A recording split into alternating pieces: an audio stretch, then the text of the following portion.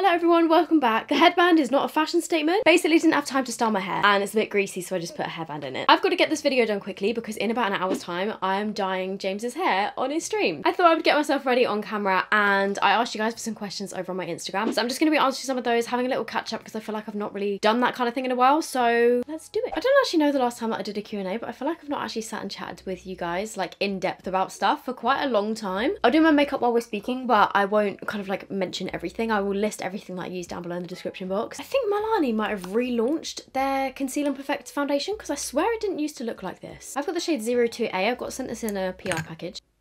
It is very thick and I'm not used to wearing that thick foundations anymore, but we'll see what it's like. So I posted this on my story, which is a lovely picture of me when I had not done anything to my hair after coming out the shower. One of the questions that made me laugh was actually somebody said, what the hell had happened to your hair?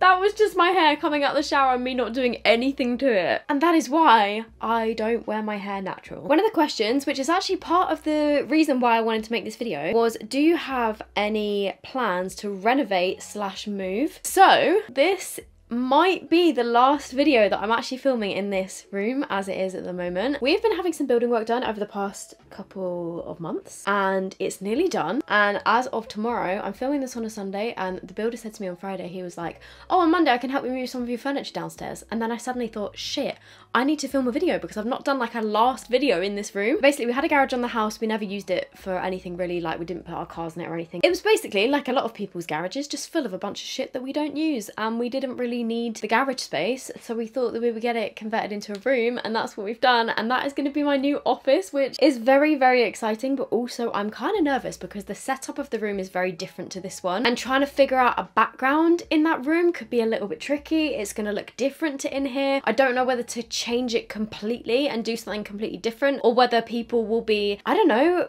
that would throw people off and they'll click on my videos and be like, this isn't a regular Soph video because it is weird. I find it strange when the YouTubers that I watch change their backgrounds because I'm like, well, it's not the same as what I'm used to, you know? And I'm not very good with change anyway, so I don't know how I'm to feel in there. So I'm a little bit nervous, but also very excited. Like, it's to be fun to have a fresh new space, but I need to get myself a new office chair. I need to get myself a new desk. I need to figure out a few things in there, but yes, this might be the last video that you see me filming here. It might not because it might take me a while to kind of get my background sorted out, but as this is at the moment, this might be the last of this background that you see. But if you have any suggestions, please let me know. Also, I do apologise if in a sec you can hear James streaming next door. That's another thing that will be good. We will no longer be right next to each other, so he can stream when he wants, I can film when I want, and it shouldn't, we shouldn't be like interrupting each other by making noise, which is going to be good. But in terms of moving, not for the moment. I reckon we'll be here for another like good few years. I mean, especially after we've just had work done. And also that frees up an extra space that if, you know, in the next like five or so years we do have kids, then we've got extra room. I mean, obviously you never know what's going to happen and we could decide to move sooner than that, but I reckon I can definitely see us living here for another good few years because we do like it here. It really does feel like home. We've been here for three years already now, which I find so crazy because that's gone so quickly, but yeah, not moving for the moment, but would definitely, I think, want to, well, probably want to in the future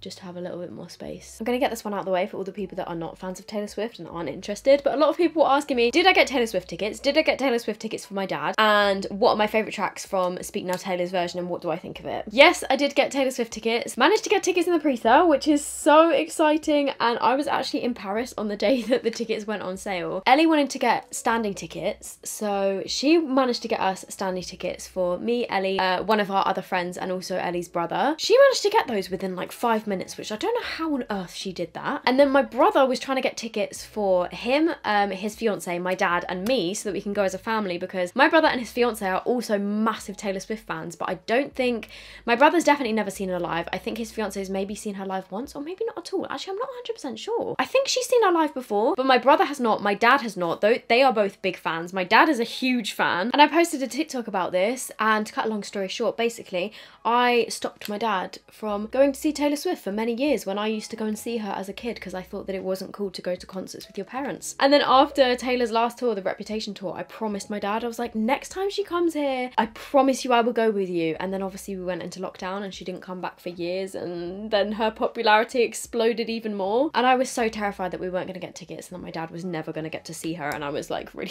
feeling like a terrible child. But yes, my brother was able to get four tickets for us, which is amazing. So I'm so, so, so excited and I'm so excited to do standing because I've not done that for a good few years for Taylor and like being near the front because obviously went to see her in Nashville, but our tickets were behind the stage, which so we didn't get to see any of the um, you know, the stuff that was going on on the stage. So I'm very excited to actually see the stage production because I've still not actually probably seen it. I've seen a couple clips and videos, but even though we were there in Nashville, we didn't see any of that. And then with my family, we are seated, and a lot of people were saying like, "Oh, which shows are you going to, and where are you sat?" I hope you understand. Like for privacy reasons, I'm not particularly keen to tell everyone when we're going and where we're going to be sitting, just because I'm going to be there with my family. So I mean, obviously, if you do see me there, feel free to come and say hi. But I didn't want people to specifically be like searching for our seats if I tell everyone. If you get what I mean. Not that they would, but just you know, just I want I want it to be as chilled as possible for my family. Oh, and in terms of Speak Now Taylor's version, obviously I love it. Speak Now is my favourite Taylor Swift album, so I was so excited for this one. I have to say, I mean, obviously it takes some getting used to because she doesn't have the same sort of like country twang to her voice, but I still love it and I love the vault tracks as well. My favourites are I Can See You and Timeless. Oh my god, Timeless is such a beautiful song. Potentially is up there with one of my favourite Taylor songs. I absolutely love it. Yeah, I do miss Taylor's country accent, but I love the album. I think it's great. Also, on the day that the tickets went live on the pre-sale, I was in Paris with James for TwitchCon and we were literally like stood by the Eiffel Tower. Everyone was sort of like sitting down getting food and I was there like on my phone trying to get Taylor tickets and I didn't actually manage to get them on that day um, and my brother was able to get some that afternoon. But on that actual day, my dad could not even try for tickets because he was literally being wheeled into surgery as the tickets went on sale. Um, so yeah, it was really nice to for my dad to wake up with my brother telling him that we were able to get Taylor Swift tickets. It was a very stressful day. Like there was a lot going on. Like there was a lot going on that day, but that put a really nice positive spin on it and my dad was absolutely over the moon so. Somebody said what is one thing that i could tell my younger self? I would tell my younger self that she doesn't need to go to uni and that you if you want to do a creative job you can still do it and you'll still end up doing something that you love and being happy and that you don't have to follow everyone else's path in life. I would also love to tell younger self that everything will be okay and life will work itself out and that you will eventually gain some confidence to do the things that you were terrified to do and that different anxiety issues can get better and that yeah just that it will be all right right. A couple of people saying like, how are things with you? Like, how's your mental health? How are you doing? Blah, blah, blah, blah. Which is very, very nice of you to ask how I'm doing. I'm doing a lot better now, I've got to say. Um, this year has had a lot of ups and downs so far. Like I touched on with my dad having surgery and stuff, he has had a few different health issues uh, over the sort of past year and then we found out I think it was back in god I can't actually remember when we found out. I think it might have been February or March. He's okay now. He's doing good. He's just had surgery but he did have prostate cancer which was a bit of a shock at the time. Yeah this year's been a bit up and down. There's been quite a lot going on in terms of like my personal life and also my work life. I've been really busy with stuff this year. Like I feel like it's great. It's really really really good to be busy but with work stuff and a lot of stuff going on in my personal life like it's just been a, a lot. Yeah it was like a lot at the time because you obviously hear the word cancer and it sounds absolutely terrifying and no one in my family that I am like close to has had cancer before. So for it to be like one of your parents was like shit. I had like a good few weeks and sort of months of like feeling very anxious and obviously like as you would which I think is a completely normal reaction but it was just like the unknown that was so scary about it. And I was speaking to my parents about this the other day. Obviously like I didn't want to speak about it online before now because I didn't know sort of like what was happening with it. I didn't know how comfortable my dad would be with that. I didn't know if he told everybody that he needed to tell but my dad was saying the other day about how they do fundraising at the Royal Marsden and that's how a lot of their care is so great.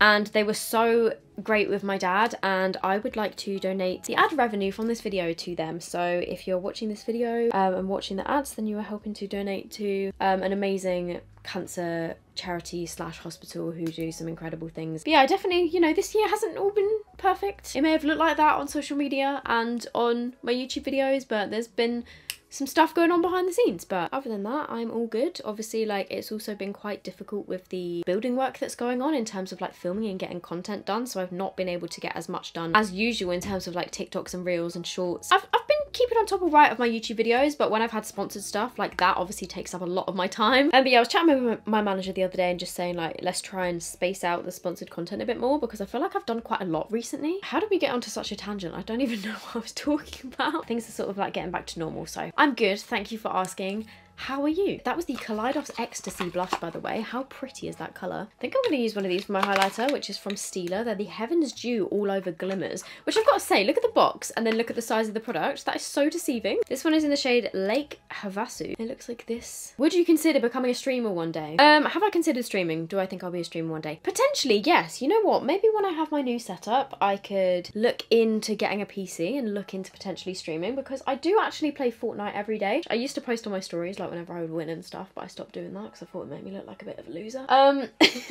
I still play Fortnite pretty much every single day of my life, so I definitely would have something to stream. And also as well, like I could do makeup streams, I could do chatting streams, I could do other games because I used to play like Minecraft and Call of Duty, so maybe I could get back into those. Maybe one day, you know, I will stream, but at the moment, like it just scares me a bit. I feel like on Twitch, there's quite a lot of, um, I don't know, the relationships can sometimes get a little bit blurred and sometimes some sort of like creepy people on there that like think that they're your best mate when they're not. But also as well, there's a lot of lovely people over there, like tons of lovely people. James has got so many nice people in his Twitch community and there are some super generous, kind, lovely people on Twitch. But obviously you do get some not so nice people as well. But I feel like because it's live, it's a very different dynamic to YouTube because on YouTube you can just block people and not even like read certain comments. But when you're live and all the comments are coming through as you're live, I feel like that's a little bit more difficult to deal with and I'm not too sure how well I would do with that. But maybe one day, we'll see, we'll see. Somebody said give us late 20 year olds some dating advice. You know what my best dating advice would be, especially if you're in your late 20s, is do not settle for less than what you deserve. I think a lot of people in their 20s, they get the pressure, obviously, if all of their mates are in relationships or whatever, or if the people around them are, or like if your family's putting pressure on you, oh, you need to find a boyfriend or girlfriend or whatever, they get a lot of pressure and just think, I need to be in a relationship, and then we'll settle for somebody that isn't like what they want in life, somebody that doesn't fully like treat them how they want to be treated, or you know, you see red flags there, but you ignore them because you think, oh, I need to be in a relationship. Just don't settle for less than what you deserve. Because at the end of the day, you want to be happy and you want to have fun with the person that you are going to potentially spend the rest of your life with. And I think, you know, if somebody isn't treating you how you want to be treated and you're not enjoying time spending with them and like you see red flags, then there's not really much point wasting your time if you are looking for something long term. Maybe try joining a club of like something that you're interested in, like a local club, as in like not a, a nightclub, like a either like sports or dance or like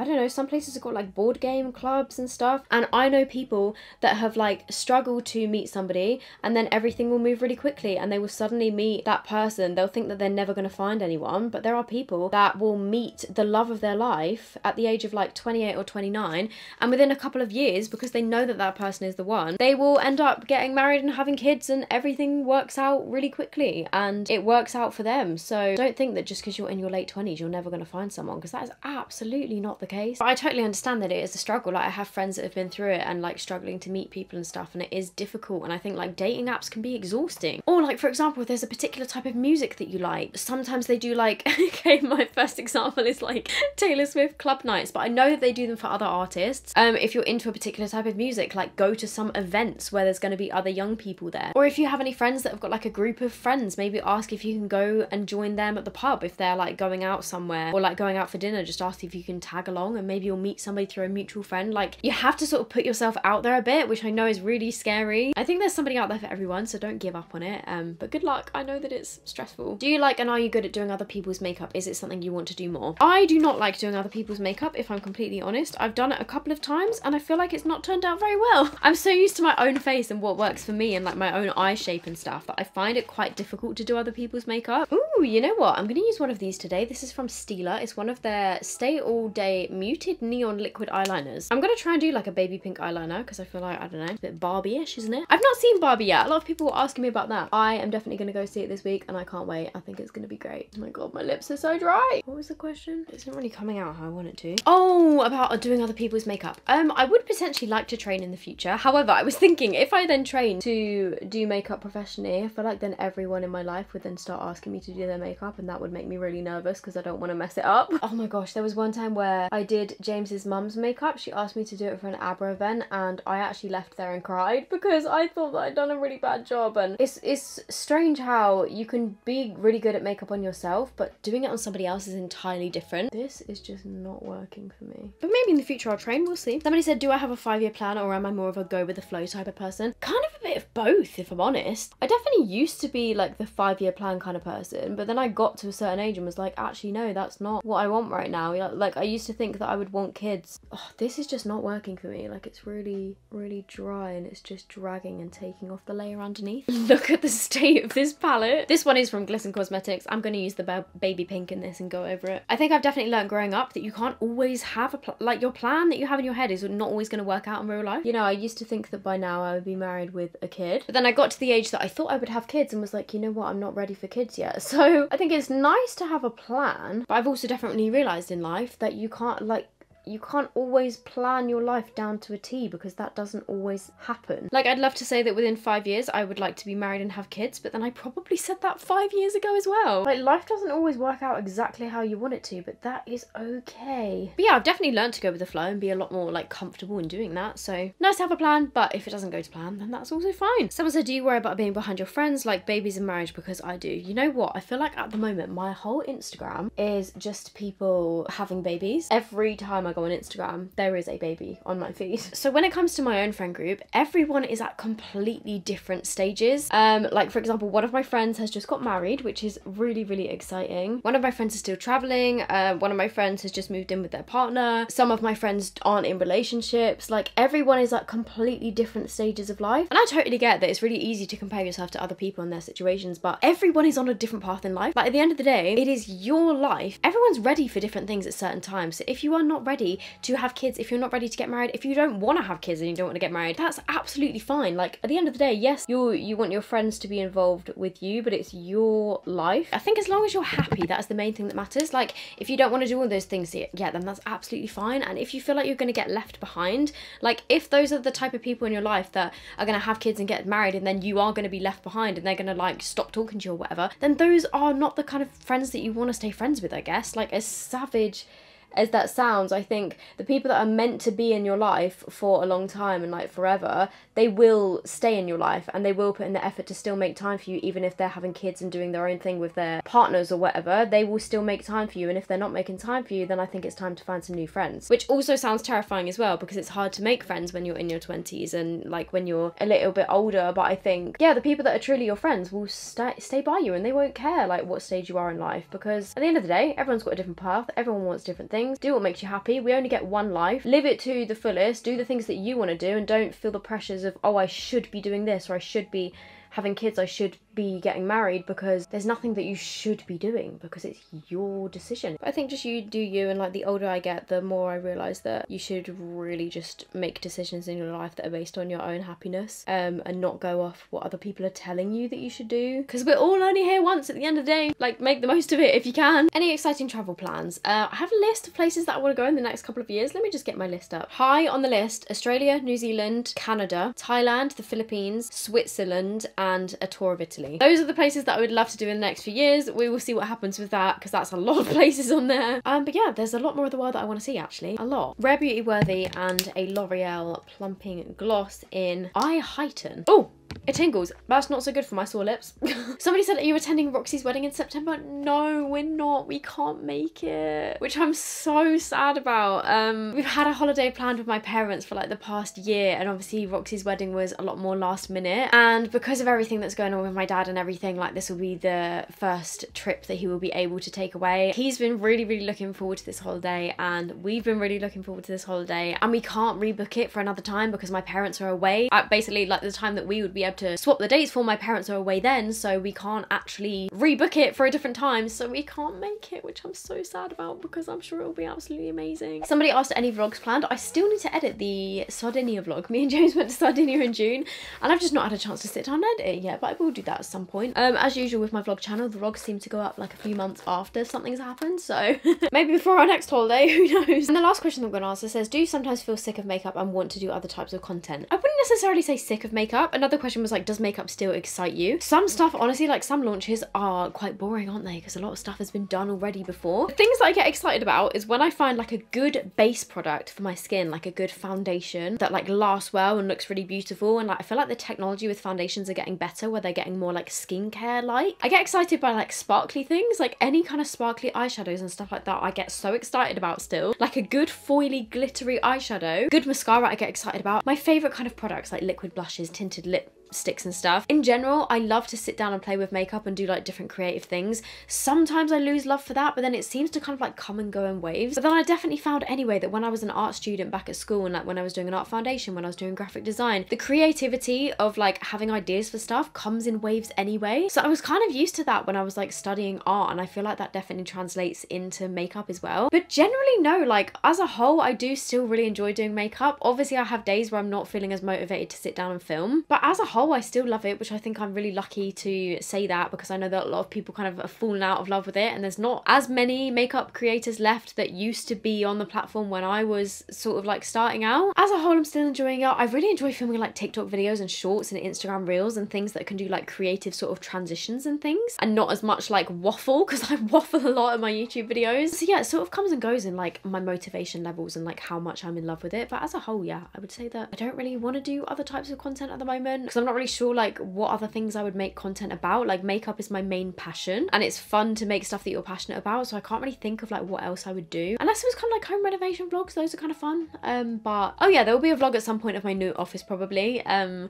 I'm not too sure how much of that, but I did get some clips of it like along the building process. So maybe I would do a little office decorating vlog soon. The only other thing that I could see myself moving into is gaming. And actually I love music as well. Like I could definitely see myself maybe in the future having a podcast about music because I know that I talk about Taylor Swift a lot, but I listen to a lot of other artists. Like I've got quite a varied music taste. Um, and a lot of the time, like especially pop music, like when a new pop album comes out, you can bet that I'll be listening to that album. And me and Ellie talk about that quite a lot. So maybe maybe me and Ellie should start a uh, music podcast. But I feel like everyone's doing a podcast at the moment, so maybe we won't at the moment. But I don't know. Who knows?